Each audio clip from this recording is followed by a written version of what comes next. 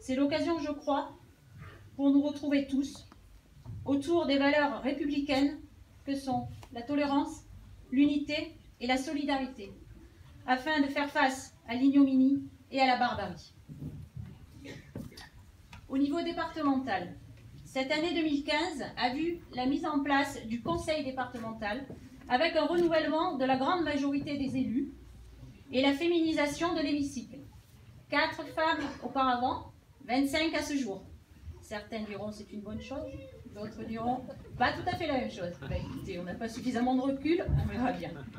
Ça passera également par une augmentation de la fiscalité au niveau du foncier bâti, qui passera de 23,45% à 24,5% en 2016 pour arriver à 25,6% en 2017. Mais il va y avoir un petit bulletin hein, euh, de la communauté de communes euh, que vous allez recevoir à partir du 15.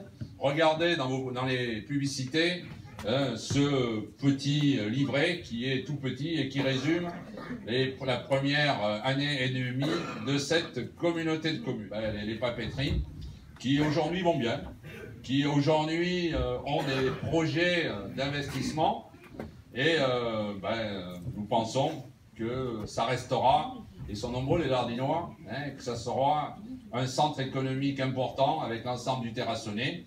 Alors après, nos petits chefs-lieux, ben, il faut qu'il y ait de la vie qui existe. Les communes rurales, elles ont plein d'atouts. Hein, je vois beaucoup d'associations ici de toutes les communes euh, qui font vivre de façon souvent bien plus intense que les communes plus grandes, vos petites communes, où il y a une convivialité, où il y a une vie locale très forte. Donc on a dit, on ne va prélever qu'un million de recettes supplémentaires. Et ce million s'est traduit, ce que vous avez vu sur votre fiche d'impôt, par 160% d'augmentation de fiscalité. Alors ceux qui sont gentils, ils me disent pas, tu as augmenté de 160%. Ils me disent, ma fiche d'impôt a augmenté de 40 ou 50 euros.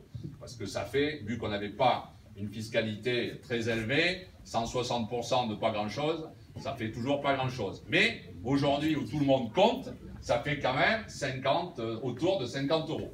Quand on a fusionné les trois, on a gardé tout le monde.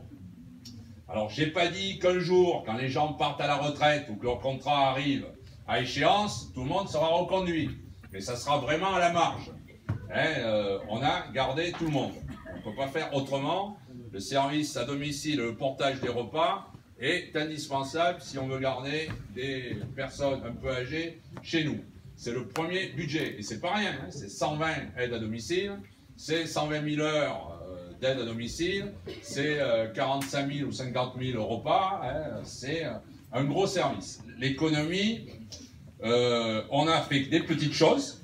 Hein, sur Hautefort, monsieur le maire, on a aidé, on n'a pas financé totalement, on a aidé en vendant un terrain pas trop cher, hein, on a aidé l'extension de l'IDIS. Hein. Euh, ici, sur, le, sur Rousset, sur la zone d'activité de Rousset, il y a l'entreprise Rivière qui s'est installée. Et j'ai rendez-vous avec euh, le patron le mois prochain pour réfléchir à une extension. On a aussi euh, donc préparé, et M. le maire Terrasson, on y compte, on a préparé demain euh, l'installation, il n'y a pas de raison, c'est pas sûr, il n'y a pas de raison de ne pas y croire, des fermiers du Périgord. On s'est mis d'accord sur des grands principes de viabilisation de cette zone, de création de, de l'assainissement, puisqu'on va de façon commune entre la ville et la partie nécessaire à la zone d'activité, construire une station d'épuration. Donc l'économie est notre euh, souci pour demain avoir des recettes supplémentaires. Mais là, il faudra attendre, euh, ben, il faut semer pour récolter. On a créé un service commun de voirie. Ce service commun de voirie va assurer euh, l'entretien des sentiers de, randonnée, euh, et on va financer sur le terrassonné le fauchage et le débroussaillage des chemins qui étaient déjà faits avant que confusion l'air de passage des gens du voyage. Alors il n'y a que deux endroits où ça n'a pas été réglé, c'est Brantôme et euh, notre territoire.